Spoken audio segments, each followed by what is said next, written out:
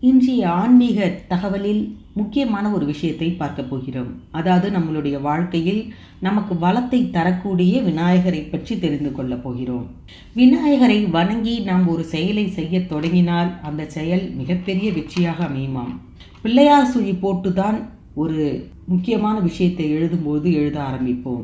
உலகில் முதன் முதலாக எழுத ஆரம்பித்தவர் விநாயக பெருமான் தானாம். வேத வியாசர் மகாபாரதத்தை சொல்ல சொல்ல தன் தந்தத்தை உடைத்து அதை எழுத்தாணியாக ஆக்கி எழுதியவராம் பிள்ளையார்.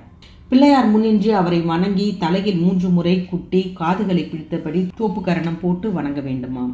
தோப்புக்கரணம் போடுவதற்கு ஒரு காரணமும் உண்டு.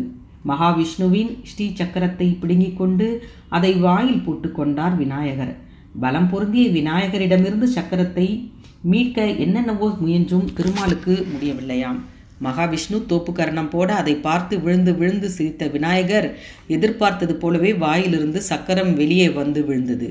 மகாவிஷ்ணு சக்கரத்தை எடுத்துக்கொண்டார் இதை போலவே நாமும் தோப்புக்கரணம் போட்டு வழிபட்டால் வேண்டிய வளங்களை விநாயகர் தருவார் என்பது நம்பிக்கை. விநாயகர் வழிபாட்டில் அருகம்புல்லுக்கு தனி இடம் உண்டு. இதற்கும் ஒரு காரணம் உள்ளது. ஒரு முறை அனலாசுரன் என்ற அசுரனை விநாயகர் விழுங்கினார். வயிற்றுக்குள் சென்ற அனலாசுரன் மிக அதிகமாக அனலை கக்கினான். அந்த சூட்டை தணிக்க அருகம்புல்லை விழுங்கினார் விநாயகர். உடலுக்கு குளிர்ச்சி தரும் அருகம்புல் இதன் மூலம் விநாயகர் வழிபாட்டில் முக்கிய இடத்தை பெற்றது. பூவை விட அருகம்புல் வைத்து பிள்ளையாரை நாம் அதிகமாக வழிபடலாம். இதைப்போல விநாயகரை நாம் தினமும் காலையில் எழுந்ததும் குளித்து குளித்து முதலில் அவரை வணங்கி அன்றைய நாள் நன்றாக இருக்க வேண்டும் என்று வேண்டிக் கொண்டால் நினைத்தது நினைத்தபடி நடக்கும்.